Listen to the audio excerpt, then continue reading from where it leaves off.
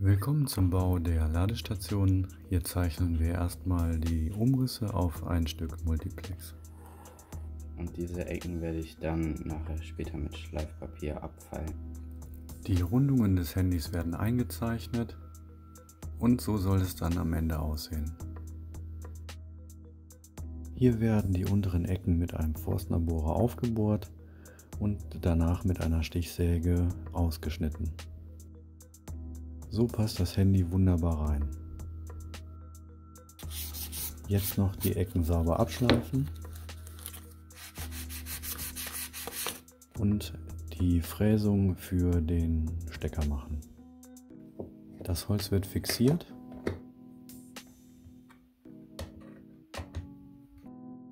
Und dann mit einer Makita Oberfräse im richtigen Winkel abgeschrägt.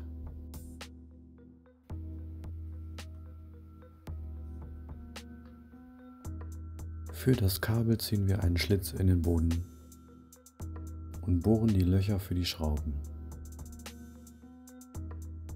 Der Stecker wird mit 5 Minuten Epoxy angedickt mit Baumwollflocken verklebt.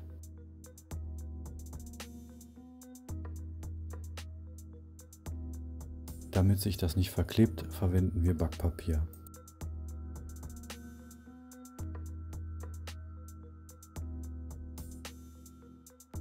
Jetzt wird das Handy einfach auf den Stecker gesteckt und somit in die richtige Position gebracht.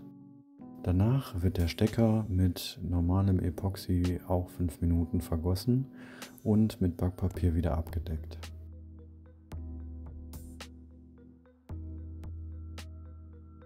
Die Rückplatte wird mit dem Vorderteil verleimt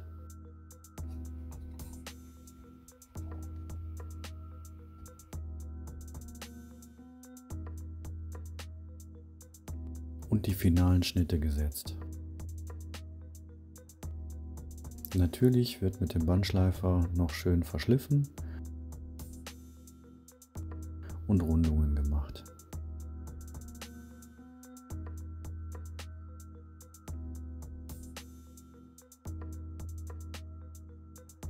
Jetzt nochmal fein mit dem Schleifpapier über die Kanten. Und der Boden mit dem Ständer verschraubt.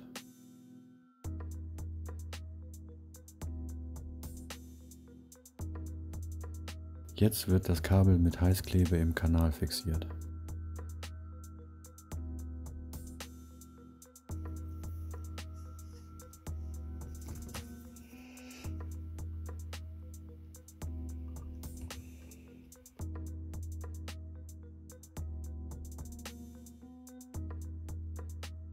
Zu guter Letzt wird das Ganze eingeölt und nach einer Wartezeit von ca. 15 Minuten wird das überschüssige Öl abgenommen. Vielen Dank fürs Zuschauen und ich wünsche euch viel Spaß beim Nachbau. Denkt daran, meinen Kanal zu abonnieren.